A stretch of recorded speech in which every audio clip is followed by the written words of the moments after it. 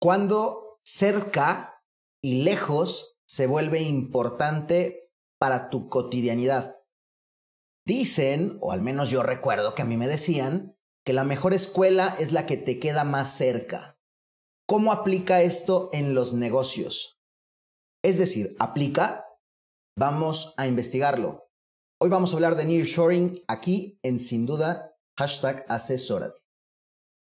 Hola, ¿qué tal? ¿Cómo les va? ¿Cómo andan? Bienvenidos todos y todas a Sin Duda Hashtag Asesórate. Yo soy Luis Octavio y agradezco el favor nuevamente de su sintonía e incluso quienes nos están mirando desde redes sociales también por estar nuevamente con nosotros, transmitiendo desde el Club de Industriales a quienes agradecemos el habernos prestado, el, facilitarnos esta locación aquí en la biblioteca. Eh, para platicar este tema que ya, ya mencionamos en la introducción de Nearshoring. Como cada martes, me permito darle la bienvenida a mi asesor de negocio, Salvador Garrido Márquez. ¿Cómo estás? Hola Octavio, muy buenas, eh, muy buen programa. Bienvenidos también a este eh, pues espectacular momento en donde vamos a tener un gran personaje con nosotros hablando de nearshoring. Así es. algo novedoso, actual y muy pronto que tenemos que ya estar este, trabajando en ello. Correcto. Nuestro invitado, queridos y queridas, es Enrique Zorrilla, eh, actual presidente de la cancha. Digo actual y hago esta acotación porque tiene en su, en su historia de vida una serie de cargos eh, en, el, en, el, sistema financiero que le preceden y que no son nada menores, permítanme contarles, como director general en Scotiabank para México, también estuvo en BBVA, eh, en, Banamex. perdón, estuvo en la Comisión Nacional Bancaria de Valores, vamos, le, precede una currícula muy amplia y por supuesto qué personalidad para platicarnos sobre esto que Enrique. ¿Cómo estás? Bienvenido. Mil gracias, un placer estar aquí, muy a tus órdenes, una gran oportunidad de tocar este tema que nos es tan importante en estos momentos y en particular para nuestro país. Y además celebrando los 40 años de la, de la Cámara Canadiense en México. La verdad es que es una, una cámara relevante para este tema de nearshoring, pero en general para lo que es el país y el mundo de los negocios y el mundo de las empresas. Hoy no se puede concebir un negocio si no está considerando el ambiente global y desde luego nuestra relación con Canadá y con Estados Unidos. Así es. Bueno, pues tenemos mucha tela de donde cortar. Yo creo que si les parece bien, podemos arrancar por el concepto mismo de nearshoring para quienes tal vez no están tan familiarizados con él podríamos arrancar explicándolo si nos haces favor, mi querido Enrique. ¿Cómo no? ¿Cómo no? Yo creo que uno de los, eh, de los diagnósticos más importantes que se dan como consecuencia de estos tiempos inéditos que hemos vivido como consecuencia de la pandemia es eh, la confiabilidad de la proveeduría de distintos bienes y servicios. Y en ese contexto, eh, empieza a prevalecer el, el, tema de mientras estés más cerca en todos sentidos geográficamente y además con una serie de definiciones que coincidan en términos de tus necesidades, eh, es preferible a proveedores que son, digamos, o más lejanos o con otro tipo de criterios de operación. A eso se le llama nearshoring. Nearshoring son esta, esta proveeduría de productos y servicios confiable cercana geográficamente, pero cercana también en una serie de procesos de comunicaciones, de transportación que permitan una continuidad en la producción. Hasta una suerte cultural, creo yo. Sin duda. Porque de pronto eh, no, no es nuevo que hemos escuchado en los negocios la famosa maquila, el offshoring, la, famosa maquila, pero que regularmente tiende a, darse o tendía a darse al otro lado del, del, planeta, ¿no? Y con lo que esto representa un mindset, una ideología distinta, horarios distintos, costumbres diferentes, que eso de alguna manera también involucra al momento del negocio, de operar el negocio. Y esta capacidad de hacerlo con probablemente dentro de tu misma zona geográfica llamándose continente, en fronteras, en cercanías, las bondades que esto lleva. ¿Y por qué hoy día, Salvador, esto es fundamental en el mercado mexicano? Sí, ya lo decías tú muy bien y, en este resumen o concepto que pusiste en la mesa, eh, pues la escuela o la mejor escuela es la más cercana. Y justo el, el concepto que ustedes manejaron es lo que busca esta situación del nearshoring y hoy los negocios. En la medida en la cual estés más cercano a tu proveeduría e incluso a tu mercado, vas a poder satisfacer de mejor manera las necesidades de ese mercado y vas a poder optimizar costos, eficientar procesos y desde luego ser más eficaz y rentable en lo que es tu operación y en el desarrollo de tu negocio. Y me parece que hoy, derivado de esta situación y la bendición que tenemos como país de estar cerquita de Estados Unidos y de Canadá, que son eh, fundamentales en este proceso global y que son países que están y siguen creciendo y están encabezando la carrera de los negocios, pues nos pone en un momento idóneo, estratégico, sin precedente para poder aprovecharlo. Enrique. Completamente de acuerdo. Yo creo que, eh, es más, estamos llamados a tomar muchísima ventaja de justamente de nuestra presencia geográfica y además de la integración que ya tenemos de una serie de procesos.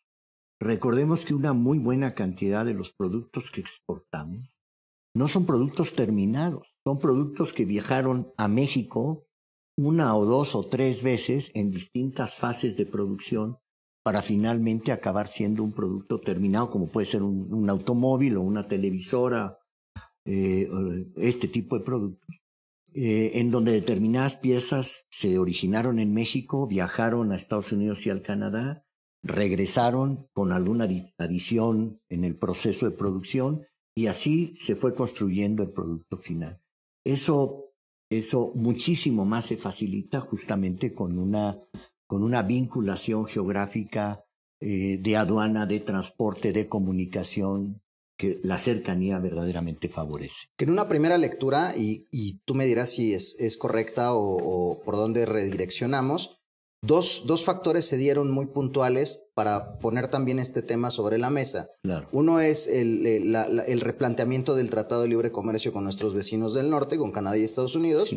Y otro, sin duda, la pandemia, tema de pandemia y de poder hacerte de materia prima lo más pronto y lo más cercano posible para poder también dar respuesta a las necesidades que surgieron en ese instante. Sin duda, sin duda, eh, eh, vamos, eh, el TEMEC como tal yo creo que es el fundamento de la competitividad de los tres países. Eh, quiero recordar en la declaración conjunta que hicieron los presidentes Biden y López Obrador en la visita que hizo el presidente mexicano en julio del año de este año, hace unos cuantos meses. Una de las declaraciones era que justamente Estados Unidos, eh, Canadá y México se constituían como una potencia económica. Correcto que, cuya competitividad residía justamente en el tratado y en la manera en que ese tratado eh, lo impulsáramos aún más de lo que ya ha crecido. ¿no? Eh, es una realidad que tenemos un atributo en esta vinculación geográfica, pero es un atributo que ya es una realidad hoy y que tiene una potencialidad hacia adelante espectacular todavía más. Entonces sí, eh, eh, creo que la pandemia hace todavía más importante, es parte del diagnóstico de la pandemia, la vulnerabilidad de las cadenas de suministro y eso invita a tener proveedores y suministros más cercanos, insisto, confiables y que en última instancia respondan a necesidades eventualmente con más urgencia entre los distintos socios comerciales. Totalmente. Sí, fíjate que antes de iniciar con este programa, con esta entrevista, con esta plática, estuvimos platicando de diversos temas, entre ellos el fútbol.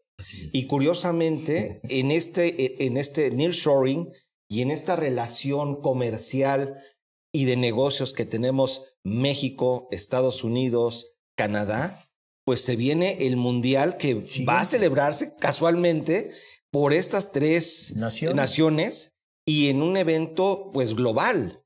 Y esto es parte de lo que hoy en día está sucediendo y que los tres países estamos tomando como un punto de ventaja y de crecimiento para nuestro país, para nuestra economía, para nuestra gente. Y eso es fundamental. Como es lo que tú acabas de decir, Enrique, el tema del TEMEC. Y ahí hay que empezar a tener, obviamente, eh, mucha precaución para que estas reglas que ya planteamos en este TEMEC sigamos construyendo para fortalecerlas, para respetarlas y pues desde luego también para que esto nos permita interactuar y fomentar la relación entre nuestros países. Ahí hay, hay que meterle precisamente apoyo en este tema como país tenemos algunas situaciones que mejorar, en, en, este caso que aclarar también y seguramente los gobiernos, nuestro gobierno en México va a hacer lo necesario para sentar las bases que son indispensables para, esta, esta, esta buena relación entre los países. Permíteme tomar la palabra unos momentos, mi querido Salvador, porque vamos a hacer una primera pausa aquí en esta charla con Enrique Zorrilla, que se está poniendo buenaza. Vamos a hacer este break, mis queridos y queridas. Esto es sin duda hashtag asesórate. Asesórate. Asesórate. Asesórate. Asesórate. Asesórate. Asesórate. Asesórate. Asesórate. Asesórate. Asesórate. No nos cansaremos de decírtelo. Asesórate. Garrido Licona. Asesoría fiscal, legal, financiera y de negocios. Visítanos en garridolicona.com.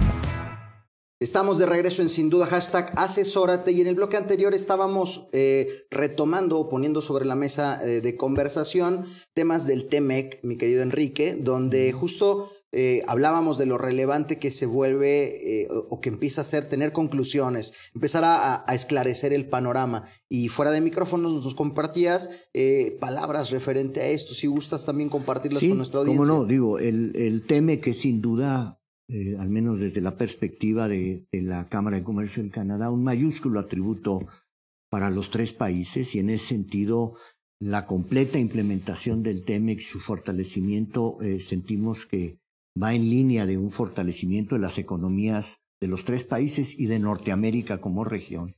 Y en ese contexto sabemos que estamos en proceso de una serie de consultas en donde que es un mecanismo de revisión, de solución de controversias, de puntos de vista y en donde la actividad entre eh, nuestra Secretaría de Economía, la licenciada Buenrostro y la embajadora Thai americana y la ministra Ing de Canadá han estado en consistentes comunicaciones eh, en, vías de lograr esos progresos para resolver las cuestiones pendientes eh, que en ese sentido se tengan, ¿no? particularmente en la parte de, de la energía, minería, en el caso de Canadá es muy importante, ahora eh, también de, del comercio del maíz amarillo, que yo creo que es importantísimo también.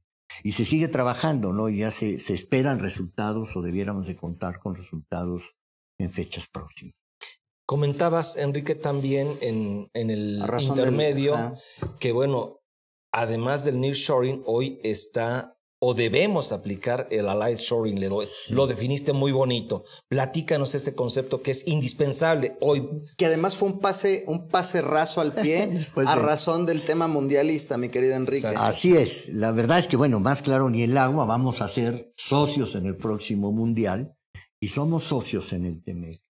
Entonces, una vertiente que cada vez más profundiza el concepto de nearshoring es que no solamente sirve estar cerca, eh, si nos sirve ser socios, es decir, más que nearshoring, estamos buscando ally shoring, es decir, ser aliados porque no nada más nos une una geografía, no nada más nos une una realidad económica, ¿no? todo el comercio internacional entre nuestros países y los flujos de inversión, sino nos une también retos como la migración, retos que están en el TEME, como es el desarrollo de la parte sur-sureste de nuestro país, retos como, como la seguridad eh, de, la, de la región, los procesos de, de, violencia que tienen que ser resueltos y que trabajando en ellos.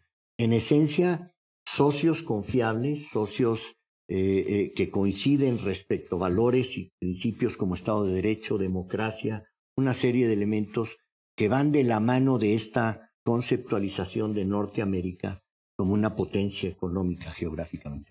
Hemos hablado en ocasiones, Salvador, en, materia de negocios, en materia profesional, que no siempre, o sea, tienes que ser amigo de tus coworkers, ¿no? O sea, pues a veces es una estricta eh, trabajo y relación de trabajo en la que si de suerte el, el de enfrente, el de al lado te cae bien, pues qué fortuna.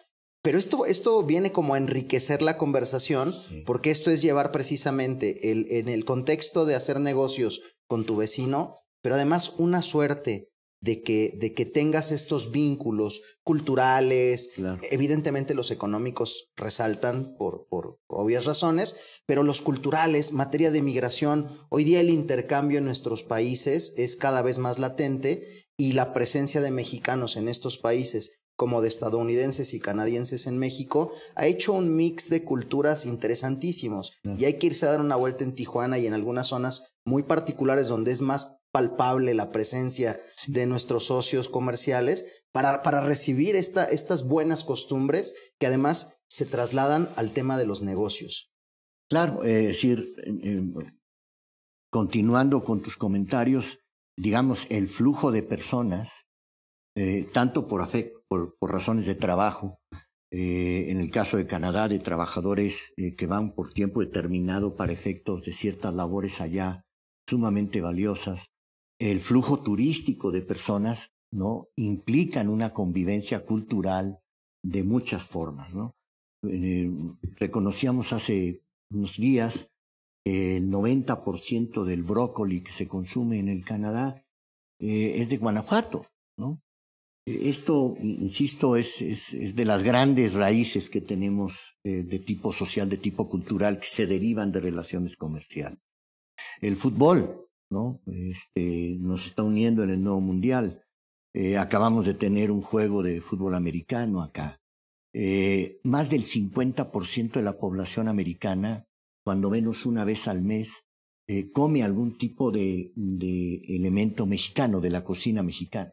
Es decir, eh, en ese contexto, la integración es mucho más allá de estrictamente flujos económicos.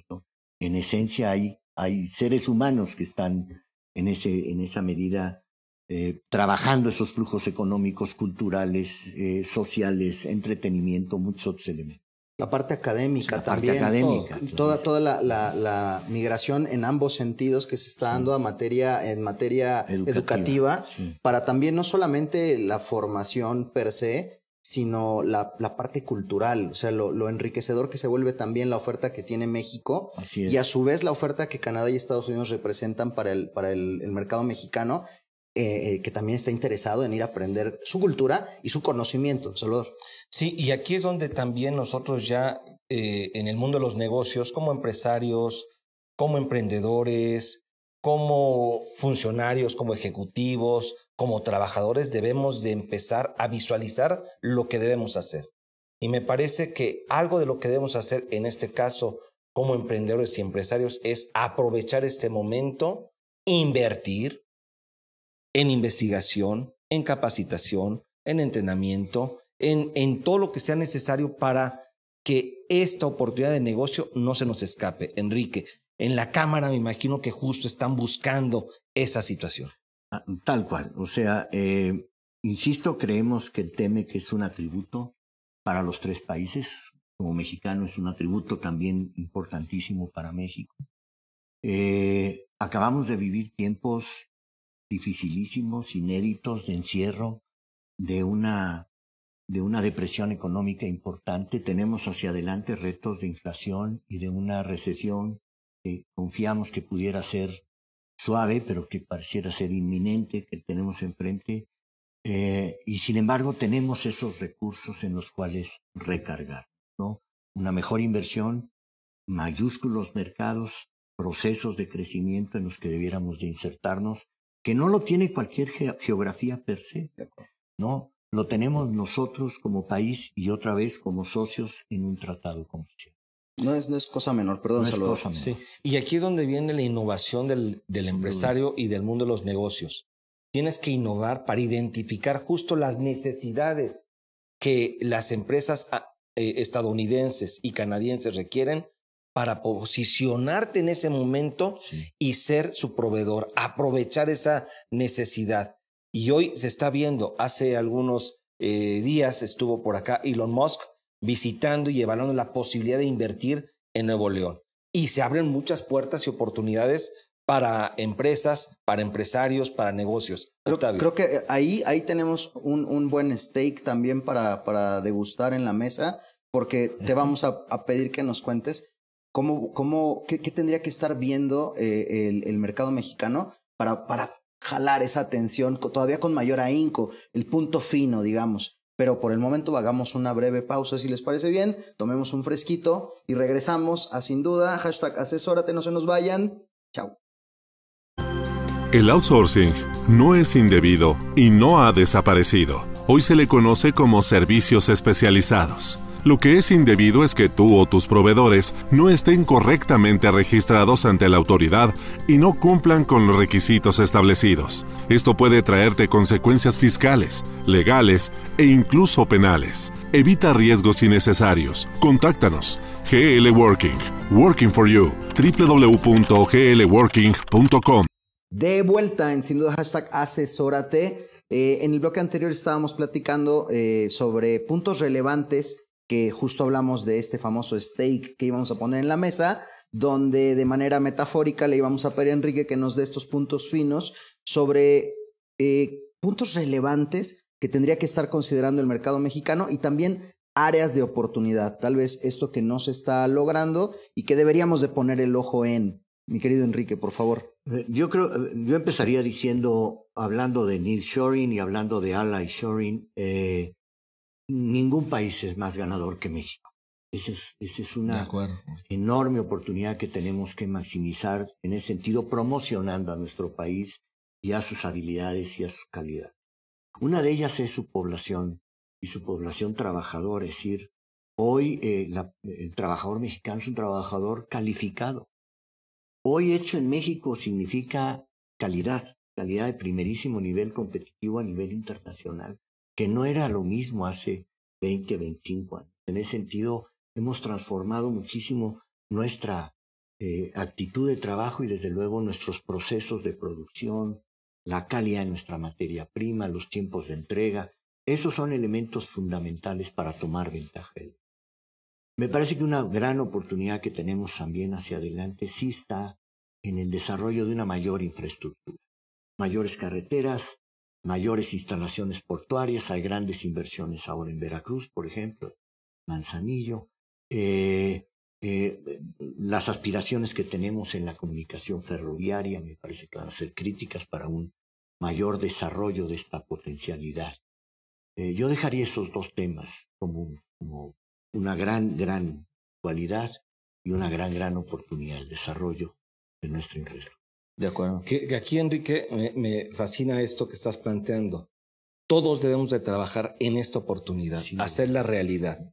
Y es desde el empresario, el, el inversionista, aportando capital, desarrollando el negocio, haciendo estrategia y todo lo que le corresponde para que se aprovechen los negocios que derivan de este concepto de nearshoring. Desde luego también la parte del capital humano, en este caso todos los que trabajamos dentro de una organización, aportando toda nuestra capacidad, nuestro talento, nuestro conocimiento, nuestra experiencia. No nos podemos quedar dormidos. Es el momento de trabajar con todo para aprovechar esa oportunidad. Y finalmente, ah, no, no queda ni debe quedar fuera, en este caso, la participación de nuestro gobierno, apoyando, como bien apuntas, en el tema de infraestructura y poniendo todas las condiciones necesarias para que empresarios, trabajadores, talento y todo se una para aprovechar este gran momento. Y hablabas también de una recesión económica que sí, o sea, se ha rumorado mucho, pero si algo nos puede ayudar a pasar esa recesión económica o a no sufrirla, es este concepto de nearshoring. Y, y pues es definitivo, estamos en el momento idóneo para ponernos las pilas y arrancar. Completamente de acuerdo. Eh, y yendo de la mano de tu comentario, lo ampliaría también a decir, eh, dentro de, de uno de los elementos en los que tenemos todos que trabajar para tomar mayor y mejor ventaja de esta oportunidad, se ha hablado muchísimo al respecto, es el Estado de Derecho. Es la claridad de las leyes, las inversiones, sobre todo las inversiones en infraestructura, las inversiones de capital, no son inversiones especulativas no son inversiones a 30 o a 60 o a 90 Son inversiones de largo plazo y en ese sentido necesitan el compromiso del socio, justamente. Y ese compromiso se da en la claridad, eh, en la consistencia del Estado de Derecho y de las leyes que rigen, no justamente esa vinculación a través del tratado.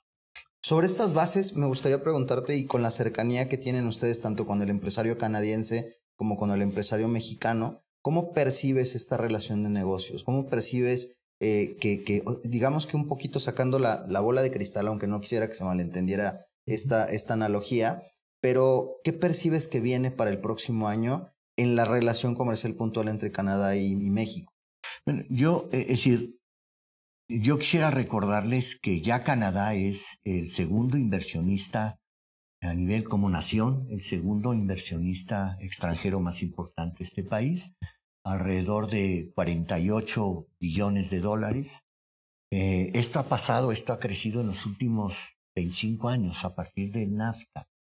Eh, una relación de México con cualquier país que tuviera un valor de 48 mil millones de dólares eh, sería considerado, sería considerada extraordinaria.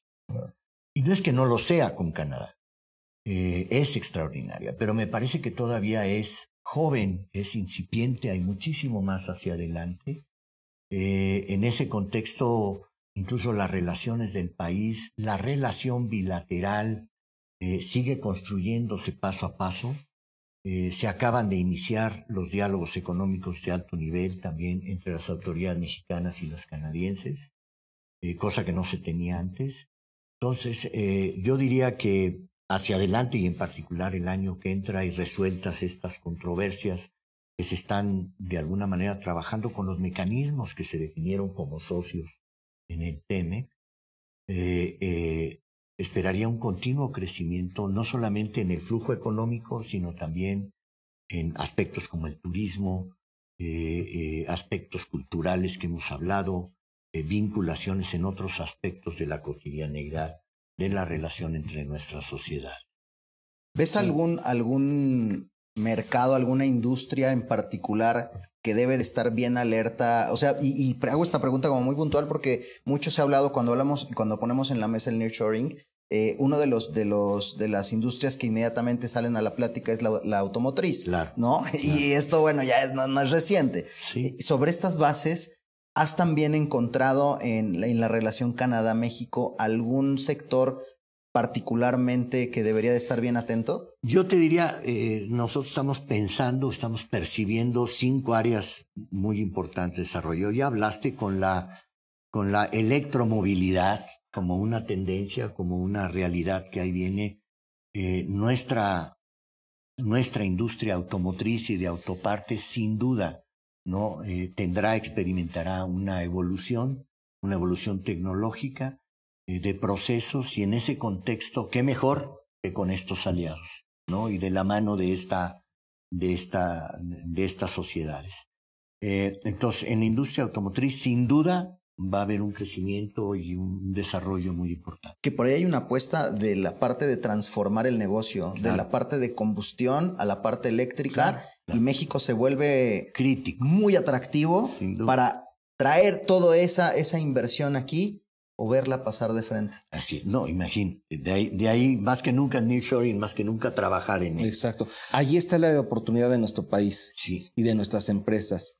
Hoy hemos carecido o no hemos avanzado tan fuertemente como en otras áreas en el tema de tecnología. Hoy tenemos que aprovechar justo y ponernos a la vanguardia en el tema de tecnología, porque eso nos va a permitir ser más competitivos y tener mayores oportunidades. Y ese es un tema que debemos desarrollar. Y el otro punto que también comentabas me, fascinó porque el tema del Estado de Derecho es algo indispensable. Y lo vemos en el tema de, la energía, el tema corporativo, en el tema fiscal, en el tema financiero, todo eso es y debe de ponerse las bases claras para las operaciones. Pero también hay un nuevo tema, sostenibilidad, el tema que es el medio ambiente, el tema relacionado con la sociedad, la parte social, capital humano, y finalmente el tema de establecer un gobierno corporativo en las empresas y con los gobiernos y entre los países para sentar las bases de un Estado de Derecho o un Estado de gobernanza que sea óptimo para el manejo de los negocios. Sin duda, y ágil y promotor, pues, de la inversión ese Estado de Derecho.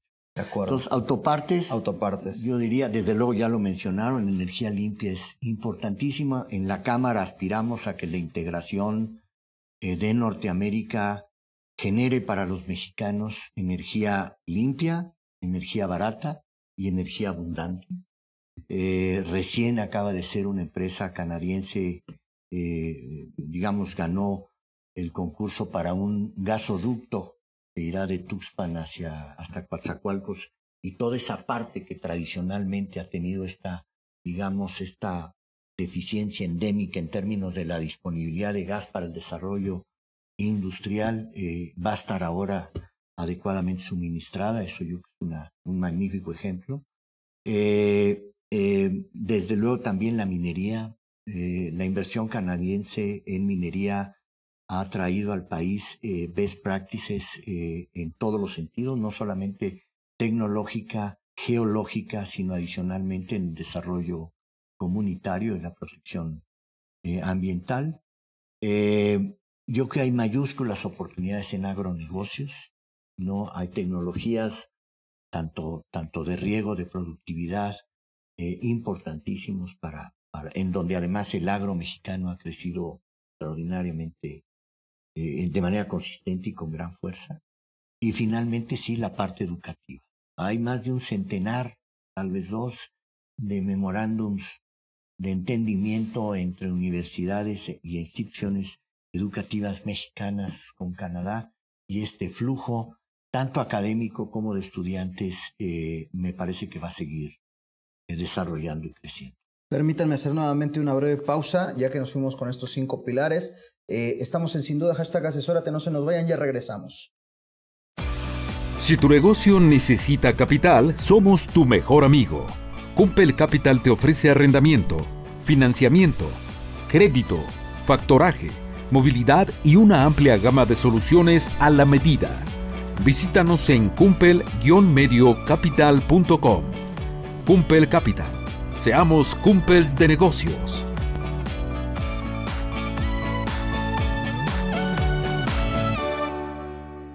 Se acerca la meta de este programa, vamos llegando ya muy, muy próximos al final.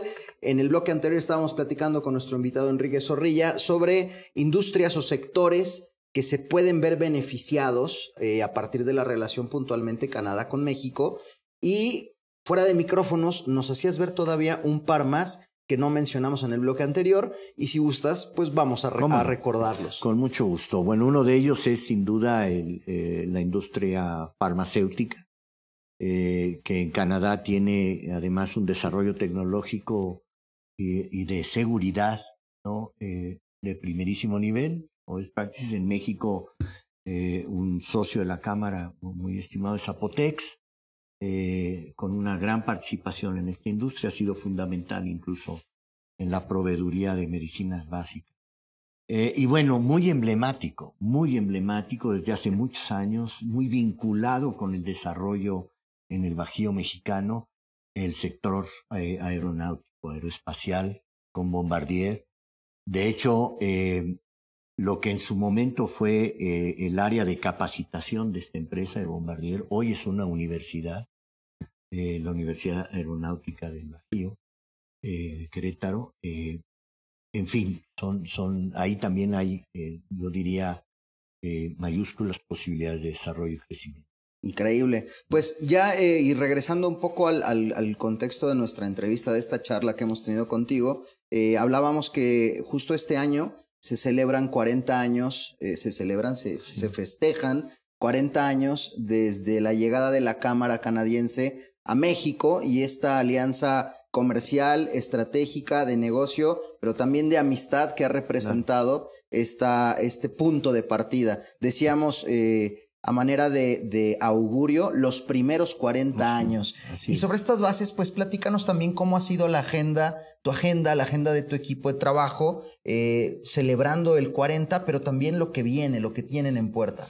Mira, la Cámara tiene, yo creo que en ese contexto, dos grandes marcas, México y Canadá, caray. En ese contexto, eh, la vinculación de estas dos mayúsculas marcas eh, nos permite augurar un crecimiento hacia adelante. Eh, tenemos alrededor de 300 eh, miembros activos, más de 1.200 amigos y patrocinadores.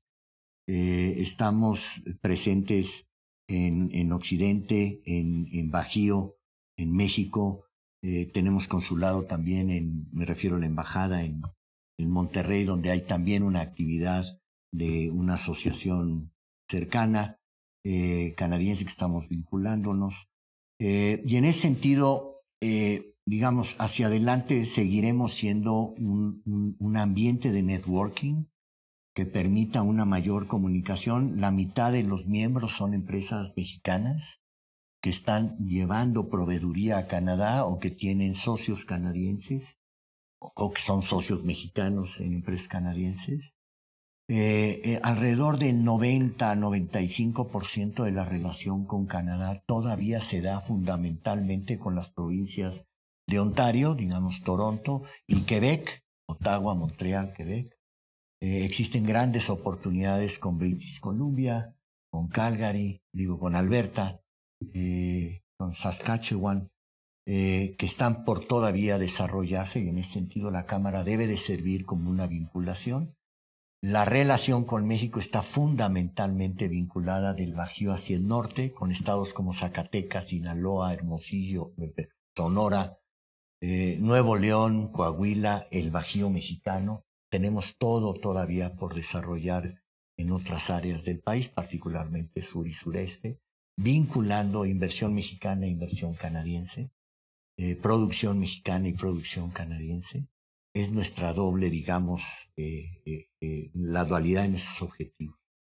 Nos definimos como una comunidad responsable de negocios, y en ese contexto promovemos esa, ese networking, esa relación, promovemos una toma de decisiones más educada a través del trabajo de 11 comités que tenemos, tanto sectoriales como temáticos, y que permiten a nuestros miembros en ese sentido hacernos saber sus preocupaciones, que comunicamos junto con otras asociaciones a nuestras autoridades, eh, pero que también eh, eh, damos de regreso hacia nuestros miembros best practices que se dan a lo largo y ancho de nuestra comunidad de negocios. Y ese es el plan para el año que entra en los años. Que, que, adelante, por favor. pero sí quiero destacar esto que estás este, señalando. Eh, Garrido Licona, nosotros como firma, pertenecemos a la Cámara Canadiense. Y, aquí destaco esto porque no es una cámara única y exclusivamente para empresas canadienses es una cámara para empresas que quieren hacer negocios, networking, lo acabas de señalar muy bien, con empresas y con inversión canadiense, en donde se abren muchísimas oportunidades. Y bueno, además del networking, lo que destacas, el tema de los comités, nosotros participamos en varios comités de ellos, el Comité Legal Fiscal, el Comité de Comercio Exterior y así sucesivamente, pues te dan esa riqueza como empresa para identificar esos puntos estratégicos en donde tú puedes participar. Y ahí sí debo destacar que la Cámara es muy, muy activa. Y lo ves en los temas de las sesiones, los webinars, los comunicados, la actividad que tienen con las autoridades. Y, y, sin equivocarme, yo creo que son una de las cámaras y, y asociaciones, vamos, por, finalmente lo integramos empresas más activas y, y, con mejores resultados a nivel empresarial. Y ahí sí debo reconocer muchas felicidades por esta, por esta acción constante que están haciendo. Y por estos 40 años. Sí, para nosotros fue, eh, fue un año muy, muy significativo. Fue un, fue un, vamos, la Cámara se funda en el 82, eh, que podría decirse un año de crisis en nuestro país, en septiembre, octubre.